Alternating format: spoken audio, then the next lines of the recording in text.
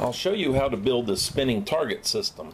It's meant for low power .177 caliber BB guns and pellet rifles. Of course you can buy spinning targets such as these on Amazon. Some have good reviews, others do not, and I'm too cheap to spend that money on something that's not highly rated. When my neighbor threw out his kid's old playset, I thought maybe I could make targets out of the sliding board, which is made of tough, thick plastic. The first idea was a knockover. Resetting it after every shot wasn't fun, so I thought about spinning targets. You can see how the targets are hung from a coat hanger wire. The spacer made with a coil of wire maintains separation between targets. The targets and spacers fit loosely on the wire. You can cut any shape target you please. I use shapes already in my workshop, just don't make the targets too long or they can't rotate. Now watch as I sketch out a few targets.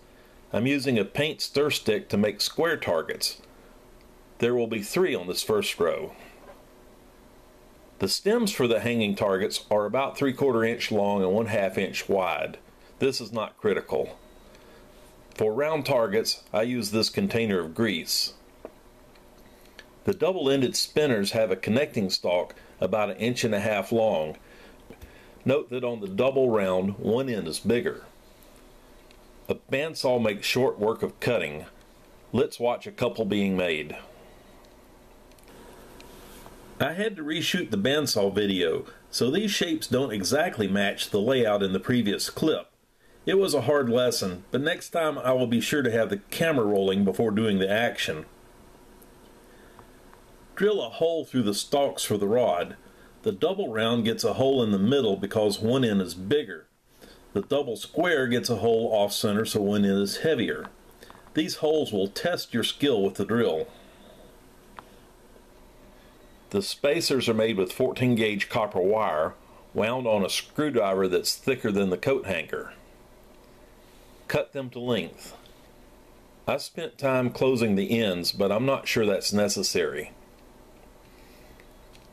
Lots of trial and error was needed on the first side, and when finished, the spaces were too long.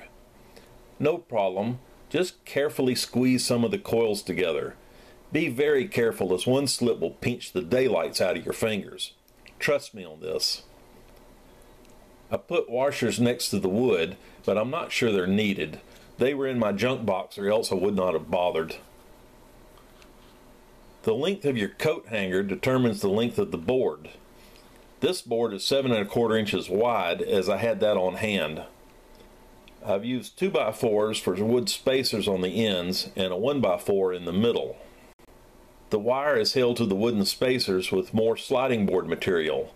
I filed a notch in the wood blocks to help hold the wire. And there you have it.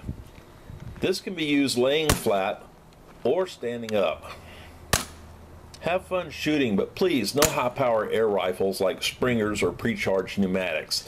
These would shatter the plastic. Your old Daisy Red Ryder or pump rifle with two or three pumps will be fine. And please follow the four rules of gun safety. If you like this, give me a thumbs up and leave a comment. And thanks for watching.